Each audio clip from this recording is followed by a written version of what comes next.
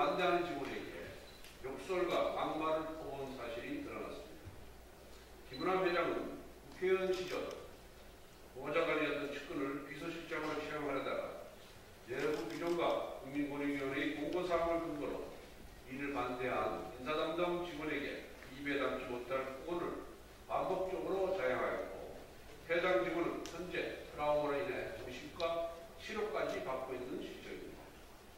이뿐만 아니라 농식품부의 공무원까지 잘라버리겠다는 김 회장의 인식은 가히 충격적이며 과거 국회의원 시절 갑질과 막말로 마사회장 취임을 반대했던 한국 마사회 노동조합의 우려가 현실로 나타나고 있습니다.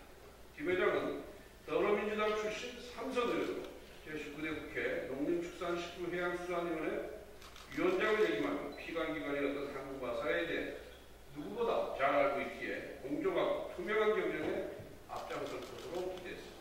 하지만 시일 않은 지금 특별 채용, 부당 지시와 반발, 폭언, 갑질 등으로 직원들 사이에서는 공포의 대상이 되었습니다. 결국 김문화 회장은 자신이 보좌관이었던 측근을 비서실장이 아닌 월 700만 원의 급여를 받는 자문위원으로 임명했습니다. 최종적으로는 비서실장으로 임명하지 않았으니 부정은 아니고 역소를 법원 직원에게도 사과를 했으니 문제될 것이 없다는 입장을 견지하고 있습니다만 이는 현 정권의 오만과 독선 그리고 안하문인적인 행태를 답습하고 있는 것입니다. 또한 코로나19로 최악의 경영난을 겪으면서도 국민적 사회적 인식 개선을 최우선 과제로 삼고 노력해온 한국 마사회는 신임 회장의 상식에서 벗어난 운영으로 인해서 그간의 노력이 모두 불고풍으로 될 상황에 처해 있습니다.